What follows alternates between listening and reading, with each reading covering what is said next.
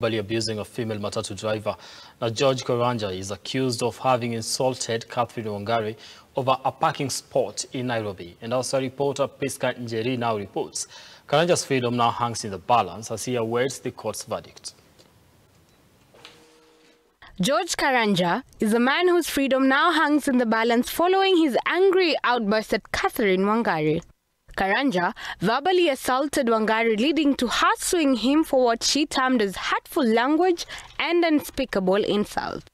And the accused person followed the matatu to where the driver had parked,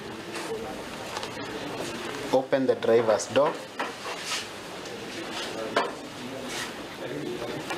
pulled out the complainant,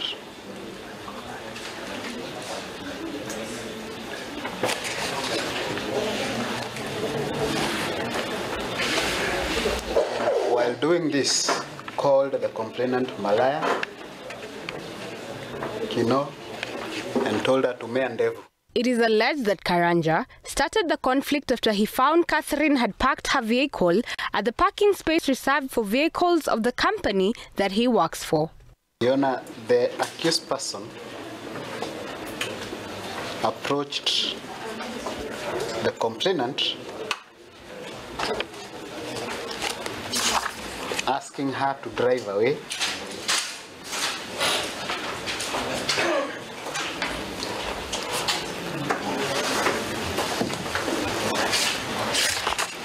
As where the matatu was parked belonged to Finn Travelers and not Triple S Circle.